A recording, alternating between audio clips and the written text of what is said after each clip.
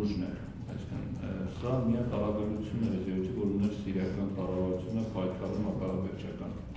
Կնզրկելով սիրիայական իշխանական ուժերի այս հարաբերությունից բավականին հետ վերադառնանք այդ նորից կարող ստեղծվել իրավիճակ, որ խոստնալու նոր տարբերական խմբերը չվերացան։ Նրանք կան տարածաշրջանները, կարող են կոնսոլիդացվել, ելի սկսվի նոր երկրորդ ռաունդ։ Վտանգը հիմնականում ստեղ է նաև, որ զրկելով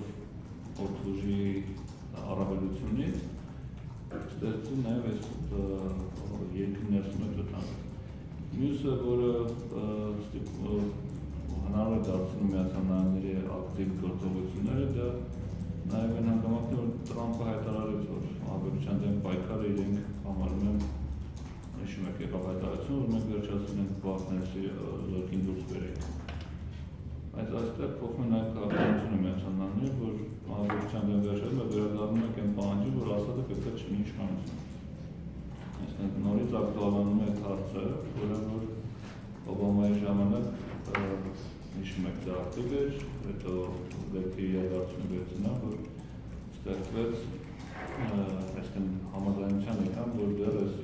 իշխանությունը պետք է որպեսզի որը միակն կարող է կազմակերպել Սիրիայում կյանքը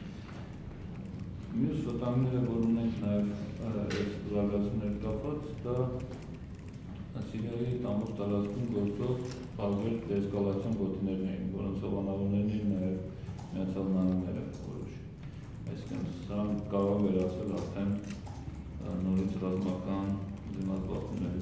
դաշտ, այսինքն վերադառնալ մի քանի տարի առաջ ստեղծած իրավիճակը անուններ է, որտեղ կա կան համայնք, որը այնտեղ ապրում է, որը ինտեգրված է, որը այսքան տարիների զրկանքից հետո դեռ էլի կան դեռ, իսկ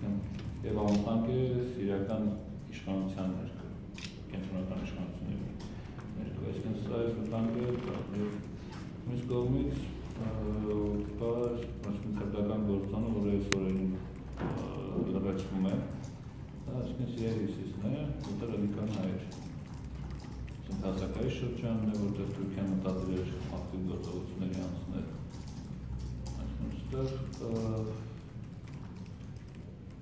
Թուրքիայի գործողությունների Սարավելյան շրջաններում։ Չէ, ստեղ խնդիրը ավելի լուրջ է այս պայդրությամբ, ակտիվ գործողությունների սպասում են տեսնեն արձագանքը միջազգային հանրության ինչպեսին կլինի, վերջի զարգացումներն նոր, իսկ մտադրությունները բնականաբար Էրդողանը չի ոչ էլ հարմարավություն կշարունակի, բայց ընդդեմ մենք ունենք մի կարևոր հանգամանք, ունենք Մակրոնի հայտարարությունը, որը ասել էր, որ աջակցություն ցույց կտա քրդական իրական դեմոկրատական ուժերին, որտեղ նաև կան քրդերն, հիմնական գրող ուժեր, նաև կան հայկական ուժեր։ Մենք առաջիկայում ունենք ֆրանկոֆոն մեր համաժողովը, որտեղ նույն մակրոն ներկայացնել, այսինքն լավ արդյունք է նաև օգտագործել այս հարթակը մեր ընդդերի խնդիրները բարձրացնելու եւ որակարգ դնելու։ Անոնց դիֆրանսիան արդեն ունի ժամանակ մտադրություն, պասիվ չմնալու իրական հակամարտությանը։